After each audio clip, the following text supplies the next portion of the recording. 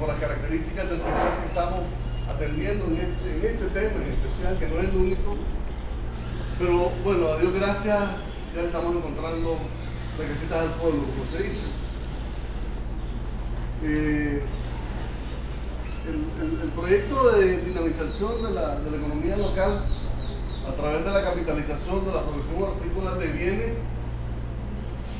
básicamente de lo que es- fueron los principales inicios del sistema de planificación municipal a través de la actualización del plan de desarrollo municipal 2009-2012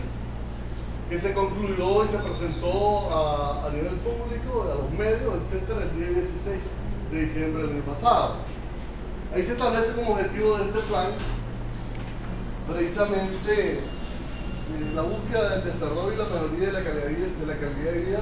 de los pobladores de Totogalpa, con una dirección de resultados aplicables, una circunstancia de momento, pero también que preparara condiciones a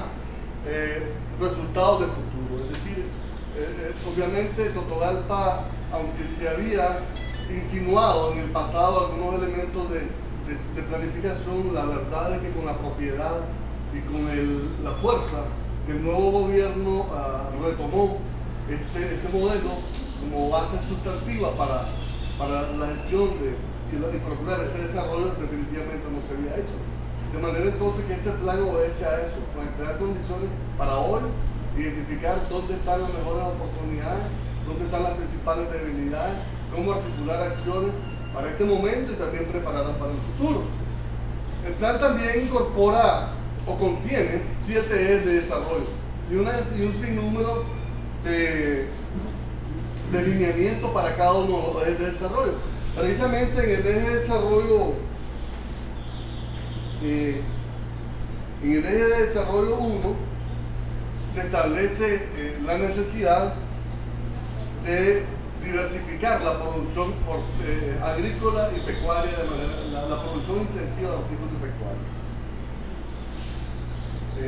En- exactamente en el lineamiento, en el lineamiento 2 se establece el gobierno local promoverá la producción alternativa de hortalizas, culturbitáceas en las microrregiones de Santo Domingo, Sabana Grande y parte de La Paz, en particular lo que son las comunidades de la Seis de San José. O sea, en el eje en donde decimos hay que inte- intensificar el apoyo hacia la actividad agrícola eh, con tecnologías apropiadas, etc. Entonces se identifican esta actividad y esta área de intervención.